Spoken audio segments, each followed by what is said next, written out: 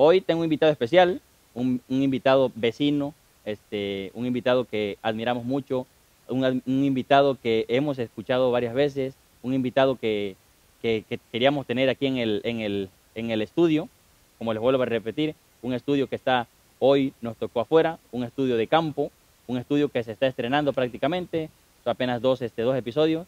Tenemos con, con ustedes, tenemos aquí en el, en el estudio a Luis Balbuena, vocalista de Estilo Privado. Luis, bienvenido. Muchas gracias, aquí andamos, Agus, y pues a darle. Qué bueno que aceptaste la, la invitación. No, pues muchas gracias por la invitación y pues agradezco por, por darme la oportunidad de estar aquí con ustedes. Qué bueno que, qué bueno que te dejaste venir, ¿eh? la verdad, Hombre. porque este, ya te habíamos escuchado y la verdad queríamos, este, queríamos tenerte por aquí y la banda también te quiere conocer. Eh, Háblanos mucho de ti. Mi nombre es Luis Balbuena, integrante, bueno, dueño del grupo de la agrupación Estilo Privado. Y tengo 27 años, mm, nativo de Puerto Marqués. Estilo Privado, ¿cómo nació? Nació en el pueblito de Plan de los Amates.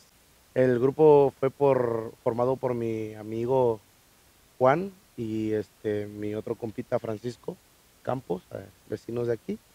Ellos me hicieron la invitación a mí de, de integrarme con ellos. Yo toco el acordeón. En ese momento ellos ya tenían, iba a ser el, la agrupación iba a ser este, ¿cómo te iba a decir? Cierreño. O guitarras con bajo, nada más. Ya este, me incorporé yo me- en el acordeón y decidieron meter batería y se formó norteño. Tuvimos un evento aquí en, en Barra Vieja y pues me hicieron la invitación. Yo no tenía agrupación en ese momento. Le digo, sí, le digo, vamos a darle.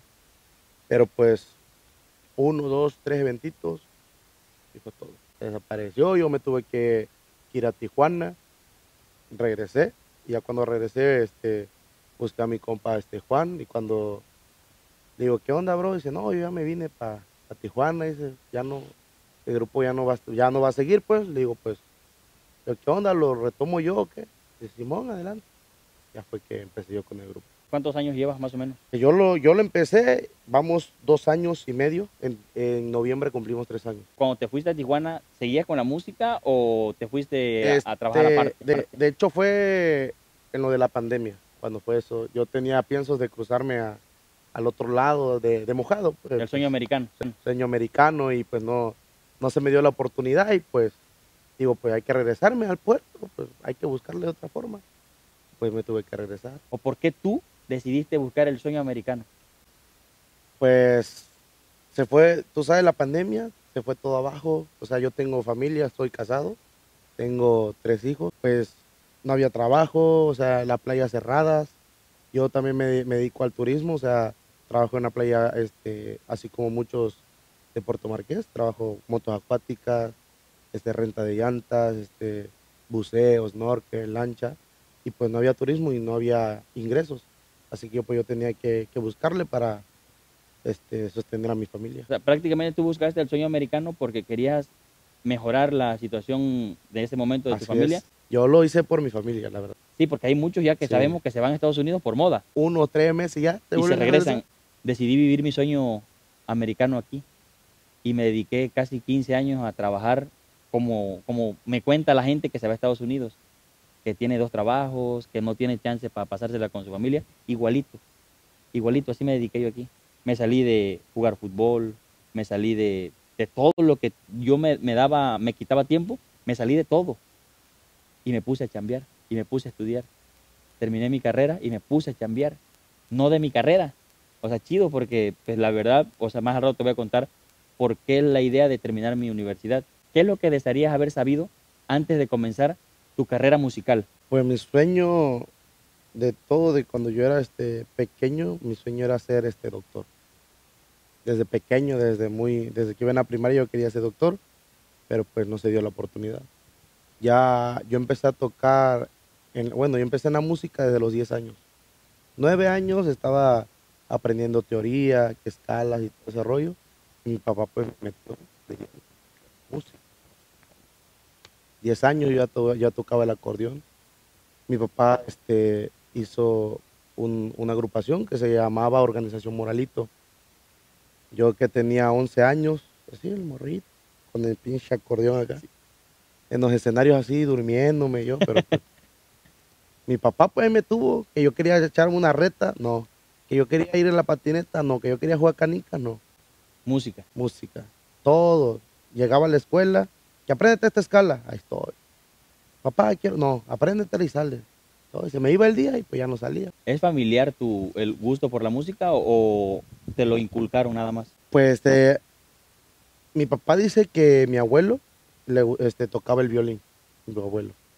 Y pues de ahí mi papá supo y pues desde, desde niño también empezó, se iba a tocar a la playa, a los camiones y todo eso. Y pues mi papá creció con la música. Que se diga músico, músico, músico, que profesionales. Ajá. No, pero mi papá tomó este, clases en el sindicato de música y fue donde me metió también a mí. Yo tenía 11 años cuando me metió al sindicato a aprender piano. Sé tocar este, poco guitarra, el bajo más o menos. En la vida, en nuestra carrera, todos fracasamos. Así es. Todos fracasamos, este, todos tenemos aprendizajes. ¿Cuál es tu peor fracaso y qué aprendiste de eso? Fracaso, fracaso. Pues mi peor fracaso fue, como me dice mi papá, no seguir con la agrupación que él formó. Porque si yo hubiera seguido con ese grupo, ya hubiera estado en un nivel arriba. Pero pues a mí me, me llamó más la atención este, lo norteño, porque el grupo de mi papá era tropical, como Bertín y su condesa, los del sabor pero a mí me gustaba lo norteño, pues. Estuve con un grupo que se llama Blindaje MX, la Sonora Galacé, también desde aquí de Plan de los Amates. Ahí fue este vocalista. Ya de ahí, pues dije, pues, oye, se toco y se deshace, mejor pago mi propia agrupación. Pero yo siento que si tú quieres ser alguien, tienes que empezar de lo tuyo desde cero. Y no exactamente. Este, andar buscándole con otra persona que sí te puede ayudar en mucho. ¿Por qué? Porque mucha gente te empieza a conocer en la industria de la música, pero pues hay que empezarle de cero para que tú puedas armar tu propio imperio y pues seguir en esto. Exacto, porque prácticamente las cosas que nos van siguiendo, normalmente nosotros no, no le tomamos cariño, no le tomamos amor. Y prácticamente en lo que nosotros sí queremos ser, en eso es en lo que nos, nos concentramos más. Digo, se te dio, se te dio. Querías, este, dices que estabas en un grupo tropical y tú querías norteño. Sí. ¿Qué tal te va hoy en lo norteño? Pues vamos más o menos poco a poco, pues luchándole porque también pues hay mucha, mucha competencia aquí en esto, pero pues tenemos que buscarle cómo sobresalir. ¿Qué piensas de la competencia? no pienso para mal, sino que pues todos tenemos oportunidades en esto y pues hay que echarle ganas nada más. Y hay que sacar algo nuevo y no ser del montón. Porque la música es como las matemáticas, nunca dejas de aprender. ¿Qué consejo le darías a alguien que quiere seguir tus pasos? Pues que le eche muchas ganas y que no, no se deje llevar por las malas palabras de la gente que, que dicen, ah, pinche chamaco, en la música nunca va a progresar, nunca va a hacer nada. Hay que echarle los kilos y a ver que algún día se le va a dar. Hay que siempre anhela. Esas palabras tú, cuando me imagino que las tuviste, las tienes, porque todos las tenemos. Normalmente siempre, la gente nunca va a entender que hay contenido, hay música, hay cosas para todo tipo, Así es. para todo tipo. O sea, no porque a mí no me guste lo tropical, quiere decir que tengo que enamorarme de lo norteño. O sea, pero la gente no lo entiende. Y, y es donde la gente se ensaña. Yo fíjate que eh, siempre he pensado que la gente tiene una, una actitud mediocre. ¿Por qué? Porque no deja hacer a la otra persona porque simplemente a mí no me gusta. Así es. O sea, y eso no tiene nada que ver, creo yo. O sea, si a mí no me gusta algo, no tengo por qué echarte a ti, decirte, ¿sabes qué? No la vas a hacer. eh, O simplemente, ¿sabes qué? Pues no me gusta ese género que él toca, pero pues qué chingón, o sea, toca bien. Está como lo de apenas del concierto de la Kenia Voz. Imagínate, critican a personas que se quedan a dormir en ese rato, pero si hubieran traído a su artista de preferencia, hasta una semana hubiera todo formado ahí. Es lo malo de la gente, o sea, habla por hablar, o sea, si no te gusta, no pasa nada. O sea, de, créeme que no pasa nada, nomás no te gusta y tú dedícate a hacer lo que tú tienes que hacer, pero no tienes por qué hablar mal de las personas. Así es. Ese consejo que tú le das a las personas, a los chavos que seguramente quieren seguir algo parecido a lo tuyo, o sea, ¿qué es la, ¿cuál es como la raíz que tú le, daría, le dirías? O sea, ¿sabes qué? El mejor consejo que le darías a ellos, el mejor consejo que le darías a la gente que quiere seguir su sueño. El mejor consejo que yo les daría es, si tú quieres empezar en esto, tienes que echarle las ganas. O sea, no, no dejar caer de que porque una persona le diga, ¿sabes qué? No, pues no la armas, no, que canta feo, que no, que nunca se te va a dar, que eso lo haga a un lado. El ensayo y la, y la perseverancia siempre va a estar ahí. Tienes que estar constante, constante, ensayando, ensayando, ensayando, así sea en la agrupación, seas viejo, siempre tienes que estar ensayando. ¿Para qué? Para que el día de mañana tengas una presentación, ahí lo demuestres con tu grupo y le cae la boca a mucha gente. Exactamente. Yo siempre he dicho esa, esa frase que tú estás diciendo, pero de mi manera. Yo siempre he dicho que todos los días hay que prepararnos ¿sí? para que cuando la oportunidad nos encuentre, nos encuentre preparados. Porque hay veces este, no nos preparamos y la oportunidad que tú querías te topa allá adelantito. ¿Y qué crees que pasa? No la agarras. Así ¿Por es. qué crees? Por el miedo de fracasar. Porque no estás preparado. Sí, Exactamente, o sea, yo siempre lo he dicho, yo soy verso, o sea, no, no, o sea, creo que lo he repetido en todas las veces y lo he repetido siempre en casi la mayoría de todos los videos. ¿Sabes cuánta, cuánto tiempo me preparé yo para llegar a donde estamos hoy? No mames, casi 15 años. Y no se me dio en 15 años, en 14. No se me dio en 14 años, pero nunca aflojé, güey, nunca aflojé, nunca aflojé, nunca aflojé. Y dije, me tiene que llegar, me tiene que llegar. Y cuando me llegó, la aproveché. Y mira dónde estamos sentados hoy. sí, así es. O sea, pero es como algo que esto se lo tengo que decir a los chavos y se lo repito a los chavos todos los días. Es algo que, como dices tú, preparación y perseverancia. Preparación y perseverancia. No te van a salir las cosas probablemente en el día que tú quieras, pero los tiempos de Dios son perfectos. Siempre. Yo, crees en Dios, ¿verdad? Sí, Sí. Los tiempos de Dios son perfectos y va a llegar el momento, pero nada más que no desistas. pues, echarle las ganas y sobrellevar las malas palabras de la gente. porque siempre va a haber. Exacto. Siempre va a haber gente. De hecho, a mí me motivan. Sí. A mí me motivan un chingo la gente. eh, Fíjate que normalmente me motivan más la gente que me tira algo malo que la gente que habla bien de mí. La gente que habla bien de mí normalmente siempre está aquí en mi casa. güey. Sí. Y siempre los escucho, siempre estoy con ellos y siempre trato de estar siempre con ellos. Soy un gente de muy poca gente cerca, güey. Por lo mismo de que pues, me gusta amar, querer un chingo a las personas que tengo cerquita, güey. Y pues la gente que me tira así mala, mala, mala vibra, mala onda, me motiva un putero más, güey. Y creo que por eso el amor crece más uno. Por eso se prepara todos los días. Sí. Por ellos, ¿no? Sí, porque le echan mala gana, pues. O sea, yo, por ejemplo, cuando me, me echan este, una mala, ¿cómo te diré? ¿Cómo se dice? Una mala reseña, yo lo tomo como tarea. Porque, pues, no, pues este chavo no le gustó esto. Pues hay que buscar qué, qué es lo que le gusta. Ah, pues no, pues le gusta el rock. Hay que meterle una, una rolita de rock entre el norteño. Pues sí. Hay que innovar. Exacto. O sea, no todo lo mismo que, no, que, a ver, este, tú tocas este norteño, que este, los canales Durango, no sé, que este, Ramón Ayala, que los Tigres del Norte. No, pues yo sí sé de norteño, pero yo toco viejito y toco los tumbados, que los, o sea, hay que meterle diferente. hoy. pues, exacto. lo de hoy. Fíjate que escuché hace rato que me dijiste que tu papá te inculcó mucho en la música. ¿Quiénes son las personas, aparte de tu papá, que te han ayudado a hacer lo que eres hoy? Y también esto lo repito y lo voy a recalcar. Sé que no eres, sé que todavía no eres lo que tú quieres ser. Pero ¿quién te ha ayudado para llegar a lo que eres hoy? Siempre mi papá. Nunca ha habido otra persona que me diga, ¿sabes qué? Este, yo te voy a apoyar con esto, que échale las ganas, échale los kilos. Nadie. Yo siempre con mi papá. Mi papá siempre que no, que no te deje este, que otra persona subestime de ti, tú siempre échale los kilos. Y pues siempre mi papá cuando yo quiero un consejo, aunque pues, o sea, yo la llevo chido con mi papá y todo, me regaña y todo, pero pues ahí está siempre para mí Siempre he estado para ti. siempre para mí, siempre yo le cuento, ¿sabes qué, papá? Este, quiero hacer esto, adelante. Si tú sientes que lo vas a hacer, hazlo y te va a salir. Ese consejo, como el consejo fuerte, ¿verdad? Del papá, Sí, que siempre tenemos, el apoyo que ese siempre tenemos. así es. este, si pudieras mencionar a otras personas que han ayudado a, a tu crecimiento, a tu aprendizaje, ¿a quiénes mencionarías? Pues a mi mamá y a mi esposa. ¿Qué tanto te han ayudado en el camino el lado femenino, que es muy importante en nuestra carrera? Pues mi mamá me apoya en, o sea, que me dice mi mamá, no, que esa canción no me gusta. ¿Qué te gusta? No, pues esta. Pues, ya le, ah, no, pues le voy a cambiar otro a mi mamá. Y mi esposa pues siempre me apoya en que todo te salga bien, suerte en tu, en tu trabajo, que te vaya bien este día. Siempre está al pendiente, en- pendiente de mí, me marca cada rato cómo vas, ya vienes para la casa. O sea, siempre está ahí conmigo, pues. Es lo que te digo, la parte importante, digo, la parte fuerte que tenemos en nuestra vida, nuestros padres. Así es. La parte fuerte, nuestros hermanos, nuestros padres. Y la parte como más de corazón, como más de, de- de buena vibra, es la parte femenina que tenemos en nuestra vida. Sí. que creo que yo también es muy importante.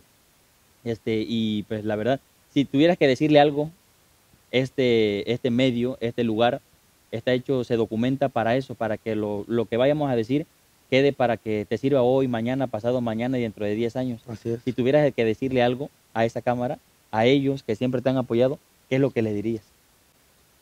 Pues le doy la gracia por siempre estar ahí para mí, siempre apoyarme en todo lo que yo y todo lo que me gusta hacer. Y pues siento que sin el apoyo de ellos, pues no estaría ahorita aquí con ustedes. Y la verdad, gran, gran persona han formado, esas personas que te han ayudado, son, este, han formado una gran persona y eso es lo que nos da gusto a todos porque pues ya que somos padres nos damos cuenta de lo importante que es ser un buen ser humano, una buena persona. Cuéntame de, de este, de, de tu, de tu agrupación, ¿cuáles son los caminos que han recorrido? Pues ahorita este, llevamos muy poco tiempo, como te vuelvo a repetir. Este, no llevamos, digamos que tantos años ya, pero en el tiempo que hemos este, estado en la agrupación, hemos estado en varios lugares, Michoacán, Oaxaca, este, Ciudad de México, Chilpancingo, todo Acapulco, todo Guerrero. La gente nos ha respondido en todos los lugares que hemos ido. ¿Qué tanto has aprendido, qué tanto aprendizaje has tenido del rodaje que hoy, que sé que es poco, que sé que en un grupo musical dos años no es mucho, Así es muy es. poco. ¿Qué tanto has aprendido en ese rodaje? Pues he aprendido que no hay que dejarse este, manipular por los por los músicos que tienes porque hay uno que otro que no le gusta este que, que yo por ejemplo sea patrón de él. O sea busca la manera de de este, pudrir a los, a los demás compañeros para que se vean encima de uno. O sea hay que siempre meterle mano firme y sabes que si no te gusta esto ojalá afuera mi padre Yo siempre he dicho eso y qué bueno que lo dices. En esto, ¿qué es lo que haces? O sea, que ya, ya bueno, qué bueno que lo dijiste. ¿Qué es lo que haces? ¿Prefieres mantener a, ese, a esa persona siempre dentro del camino sabiendo que te va a trazar o prefieres cortarlo de tajo? no cortarlo cortarlo ¿por qué? porque si lo dejas de mañana se sale una persona que tú ocupabas llega otro y lo vuelve a A ensuciar. ensuciar, ensuciar. Sí, lo van a podrir, pues. Sí, Es lo que siempre he dicho yo y creo que lo hablamos con este, el arrecho de la cumbia. ajá Sí, lo, plati- con- exact- lo platicamos ese día, que también estuvimos con él, que estuvo aquí en el estudio. Compa chivo el compa chivo, Chivo, con para Chivo. burro Sí, con Chivo, con Chivo, con este, con el, yo le digo el arrecho, pues, con Chivo, este, este, platicamos eso, que si él prefería, este, tener un buen integrante dentro del grupo, sabiendo que te puede podrir el equipo, si él lo desecharía o lo ocuparía. Y me contestaron lo mismo. Y Pues sí. prácticamente, que, que quiero que lo escuchen también esto todas las personas. Si hay un mal integrante en donde quiera que estés, ¿eh? o sea, tú en tu grupo musical o cualquier persona que tiene a alguien en su trabajo que mancha el equipo, es mejor desecharlo. así es Sí, porque te va a seguir manchando al que entre. Podrán salir mil y él sigue aquí, los mil se te van a contagiar así es de la mala, de la mala vibra, de la mala mentalidad. De todas las profesiones, de todas las cosas que se hacen, tú, por ejemplo, en la música, ¿qué mito te gustaría desmentir? Algo que te hayan dicho, que te hayan dicho, no, no seas músico por esto, y que no, no seas músico por esto otro. está el, el meme que dice no que de músico te vas a morir de hambre pues si no le echas las ganas pues sí ¿verdad? En Pero, cualquier pues, lado, exactamente en lo que hagas. siempre hay que echarle, siempre hay que ser constante en el trabajo, siempre estar ahí al pendiente, porque hay muchas este, personas que, o sea, dicen, no, pues soy músico. Simón, ¿pero qué? No, que este, voy con un teclado y toco el güiro. No, no, no manches, brother, aprende otra cosa, no sé, una guitarrita, bajo, acordeón, aprende a cantar. Hay veces que uno, te voy a poner un claro ejemplo, Justin Cierreño.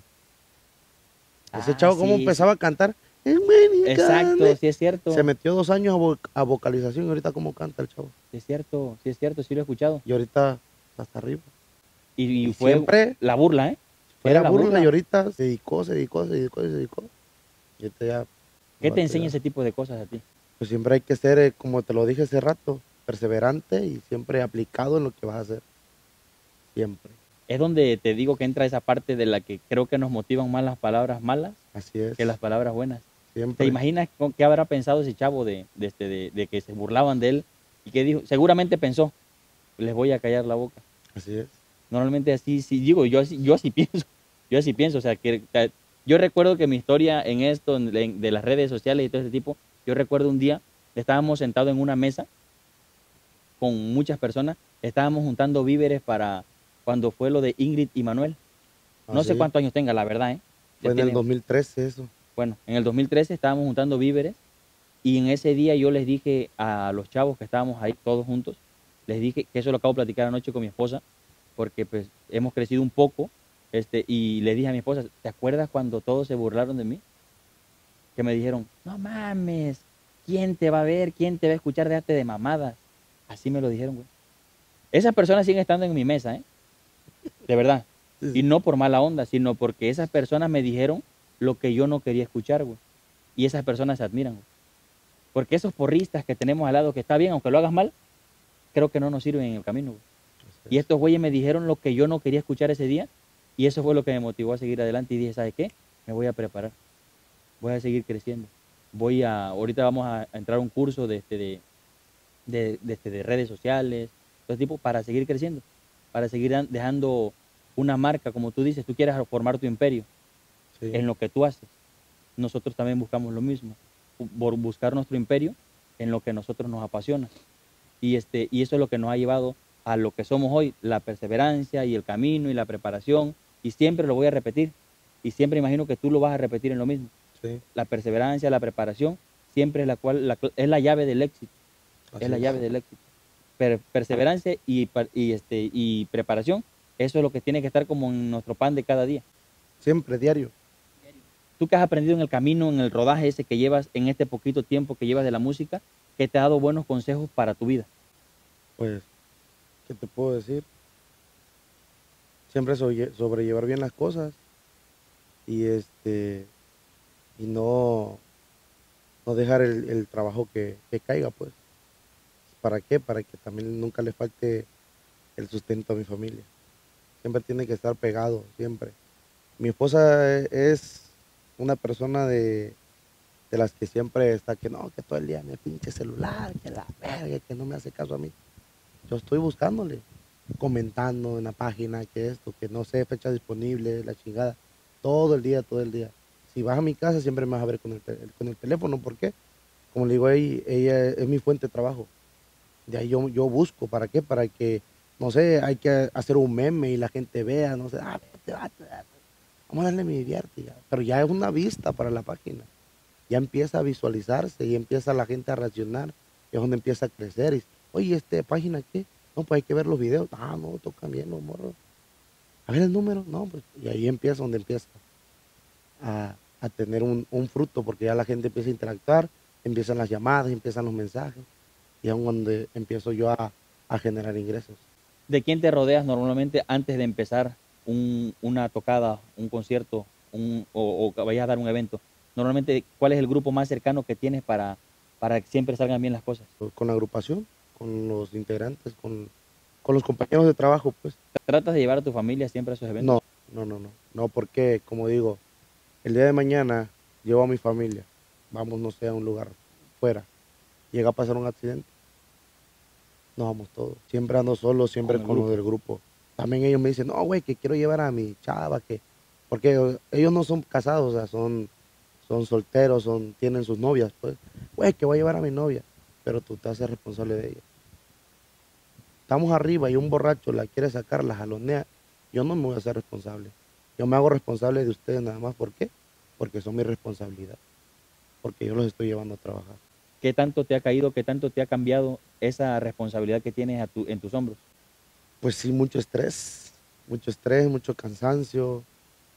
Mm, no he podido dormir muy bien. ¿Por qué? Porque siempre pensando, siempre cuando se llega a, un, a esta, una fecha, ando pensando de que tengo que sacar el gasto para la gasolina, que este, todo me salga bien para pagarle a los muchachos. Este, para llegar allá tengo que marcarle al chavo, ¿sabes qué? Voy a llegar a tal hora. Siempre cito a los chavos dos horas, una hora y media antes, ¿para qué? Para llegar con tiempo. Si yo sé que el camino está a dos horas de distancia y si vamos a empezar a las 8, yo lo cito a las 4 de la tarde. Salir a las 4 de la tarde de aquí, llegar, porque no sabes si en el camino hay un choque, que se pinche una llanta, se calienta el carro, pueden pasar millones de cosas. Y siempre pues tienes que ir con tiempo para que todo salga bien. Pero hay muchos que, que eso los integrantes no, no entienden, pues, no, güey, ¿para qué quieres llegar temprano? No, que dónde va a ser el evento. No, que este, pásame la fecha y, y dónde va a ser el evento. Estoy pasando las fechas para que quieras saber el evento. ¿Tienes algún problema? Tú eres figura pública. No, no tienes que tener problemas para nada. Siempre tienes que llevarla bien con las personas. Así te caiga mal, siempre tienes que dar una buena presencia, una buena imagen para ellos. Así te, te esté cayendo tu, ahorita tengas un problemón y todo, tú siempre en el escenario tienes que dar lo mejor. Siempre, subir con una sonrisa, o sea, despejarte del mundo por un momento, siempre. Así haya salido mal con tu esposa, con tu pareja, haya fallecido un familiar tuyo. ¿Por qué? Porque el, músico no tiene vacaciones, no tiene este, salidas repentinas que, ah, me voy a ir una, un fin de semana con... No, ¿por qué? Porque el trabajo de un músico son fines de semana. Viernes, sábado, domingo, lunes martes y miércoles tienes para disfrutar todo lo que tú quieras. Como le digo a ellos, no, que este, me voy a ir de vacaciones. No te puedes ir de vacaciones. ¿Por qué te vas a ir de vacaciones? Martes y miércoles, hasta un jueves, si quieres, tres días. Pero viernes, sábado, domingo y lunes siempre lo tienes que tener desocupado para todo. Libre, Siempre, libre. Y que no, que a mí me tocó una vez cuando falleció mi abuelito. Estaba con, en el grupo de mi papá. Este, tuvimos un, un, evento aquí en Crucero de Cayaco, me acuerdo. Mi abuelita falleció, digamos a esta hora de la noche. Al otro día era, el otro día era el evento. Este, estaba mi abuelita atendida y estaba, y pues nosotros pues firmas contratos. Ahí no de que no, que de palabra no. ¿Por qué? Porque hay veces que los músicos no se presentan o hay veces que las personas que el contratista no, no cumple las normas de, el contrato. Y ya por eso siempre es todo contrato y contrato. llegamos ese día y no tocamos. Se dejó caer un, un aguacero, pero aguacero, no, no piense que una llovizna, no, aguacero. Se canceló la boda. Pero nosotros nos presentamos así, mi abuelita estuviera atendida. Y muchos me dicen, no, güey, que no puedo ir porque este, se enfermó mi, mi, mi, mi, novia o, ¿sabes qué, güey? Este, es que tengo calentura que güey, es que, güey, o sea, tú sí, tú no puedes ir, pero ¿con quién se va a ir la gente? Conmigo. ¿Por qué? Porque yo soy el responsable de la agrupación. Entonces siempre tienen, tienen que estar todos los integrantes. Hay veces que, muchas personas contratan al, grupo, ¿por qué? Porque algún familiar de ellos es integrante. Llegas al evento y no está ese vato, te empiezan a hacer de pedo. Oye, que no está, yo te contraté por él. ¿Cómo le hacemos? No, pues no te voy a pagar jefa, ahí el contrato. Ahí no dice que yo voy a traer a fulano, a mendano, a mengano. Yo solamente me vengo, a presentar y me tiene que pagar. Pero pues eso ellos no lo entienden. Ellos nada más dicen, no, pues ya acabamos de, tocar, págame, ya me voy. O sea, no, debe de estar constante y siempre no debe de tener vacaciones. Esa es la vida de un músico. Exacto. ¿Has aprendido a manejar tu empresa o ya tenías noción más o menos de manejar una empresa? Ya tenía noción porque cuando estaba en la agrupación con mi papá yo era el que llevaba el cargo. O sea, mi papá siempre me decía que, o sea, él era el dueño y todo, pero me decía, ten, págale tú. Y pues me iba un morrito, pues, y lo ese ten. Ah, porque ten, güey, está tu paga. Y pues ya fue donde empecé, yo les hablaba a los chavos, ¿sabes qué? Vamos a ensayar tal día, a tal hora. Y ahí fue cuando em, empecé a aprender, pues yo, de mandato, pues. También cuando estuve con la agrupación aquí de, plan de los amates Galacé, yo era el, de la cabeza, pues yo era, como se puede decir, el, el capitán. No era el dueño, pero era el que decía, se va a hacer esto, se va a hacer esto, vamos a ir vestidos así, así, así, así. O sea, ya tienes ya mucho camino en esto. Así es. Y ahora todas esas cosas que, que, este, que puliste en ese entonces las estás llevando a cabo. Pero, o sea, tal vez estoy haciendo mal. porque Yo trato a ellos como quisiera que a mí me trataran. Porque yo les doy mucha preferencia. En una agrupación se cita, no, pues nos vemos en tal día, a tal, a tal hora en tal lugar. Ah, sí, no, pues nos vemos en mi casa. Digamos, me vemos, nos vemos en mi casa. Lleguen a tal hora. Y para llegar de regreso, tienes que llegar al lugar donde saliste y cada quien agarre y se para su lugar. Yo no. Yo los voy a dejar a cada uno a su casa. así sean las 3, 4 o 5 de la mañana, yo voy a dejarlos hasta su casa. Pero, y, como, y como quiera me la hacen de, de todo, no, que güey, que está bien. Le digo, güey, le agarra la onda, le digo, tengo sueño, voy a manejar, güey, te dejo aquí. No, que no sé qué, que güey, que... Le digo, si fuera otra ocupación, te dejan en tal lugar y tú agarras taxi hasta tu casa especial Sí. y no se la va a hacer de pancho. Y a mí, porque sí, me he tratado buena onda a ustedes, güey. O sea, vienes con ese camino, pues ya. O sea, tú ya vienes aprendiendo en ese camino. Vengo y- aprendiendo Y, lo y- has venido puliendo hoy que ya tienes tu, tu propia empresa, ¿no? Así es. Me da gusto, me da gusto que seas de, de los chavos que quieren crecer bajo sus propios méritos. Me da, me da muchísimo gusto. Digo, yo estamos rodeados de eso, de que, de que ustedes, por eso les digo fuera de serie, son personas como que están hechas diferentes, personas que les gusta trabajar para ganarse lo que quieren, Sí. lo que quieren. Y me da siempre, me va a dar mucho gusto tenerlos de frente, hablarles, saludarles, porque de ustedes aprendo mucho. Yo soy mucho más grande que tú, soy mucho más grande que tú, este, pero siempre me ha gustado rodearme de gente importante como tú. Y de verdad te agradezco muchísimo que hayas aceptado la, la invitación y me llena de, de- de felicidad tener este, tener, tenerte, tenerte aquí en el estudio y que hayas estado con nosotros.